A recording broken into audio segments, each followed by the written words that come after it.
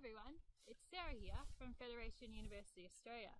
I've been called out to this property behind me. You can see some sheep. Now the farmer is having a problem.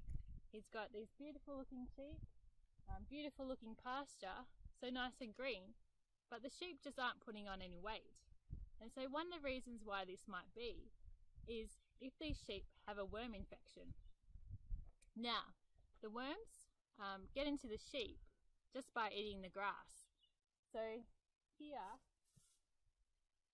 we've got some nice clover and the larvae are just of the worms are just actually on this pasture here.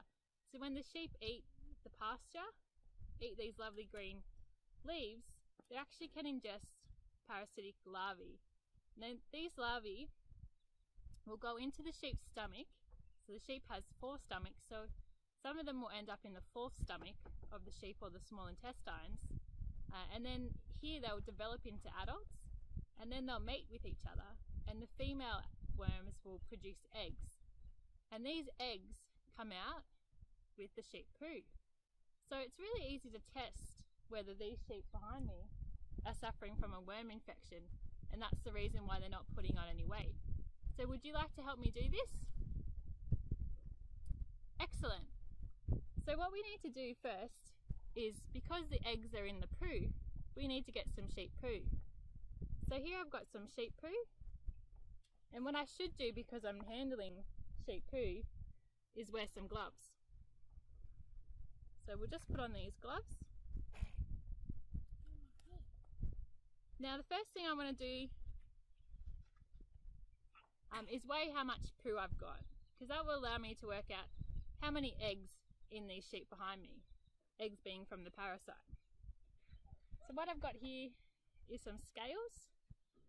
And so I'm first just going to weigh the poo. So what I want to do first, um, like any good scientist, is actually tare the measurement scales and then I'll drop it in and I'll work out how much we've got. So I've got about 20 grams here. So note that down. So next we want to do is we actually want to make a paste with this poo. Because these eggs are quite small, we actually have to use a microscope, which I've got here, to have a look at these eggs. So with me I brought some solution. So this is actually just a saturated solution of salt. And so I'm going to pour some in there to make a paste. And so I'm going to pour in 50 mils.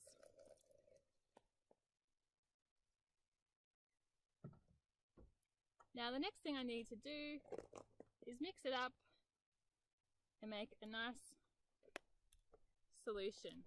Homogeneous solution we say. Now, because we're using a salt solution, the salt solution is actually saturated. And what that does is it means that when we look, put this liquid under the microscope, the float, the eggs are actually going to float to the top of our microscopic slide. And that's going to make it easier for us to measure. Right. Now I've got a nice, not so nice smelling solution. We are now going to um, do the next step, which is actually just to filter it. So obviously the grass, of, the sheep have been eating this nice grass behind us.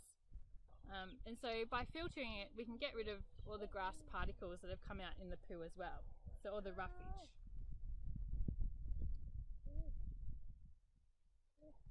So I'm just going to filter some of the solution through this cloth. Now, another good technique is if you have a strainer, then you could use a strainer. So just filtering it out So I've got a nice solution here that's not full of grass. Now the last step I want to do is take this solution and fill, take some of this solution and put it in this slide. Now this is a specialized slide for worm counting. It's called a Whitlock Universal Slide. Um, and what it is, it's a chamber. So we can actually put fit liquid in between the two pieces of glass which make a chamber. And when we look under the microscope, it's actually got lines, so that just helps us look for the eggs and make sure we know where, where we're up to when we're counting. So with my pipette, actually going to gently fill the chambers up on a slight tilt so we can see. We'll do a couple of chambers.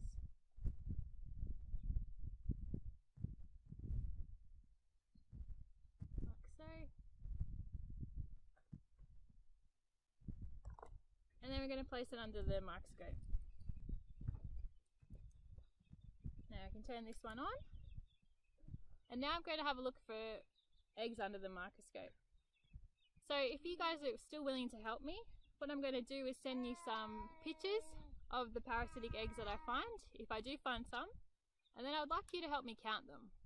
So at the bottom of this video will be an activity sheet that you'll need to download and try and count these eggs. Happy counting!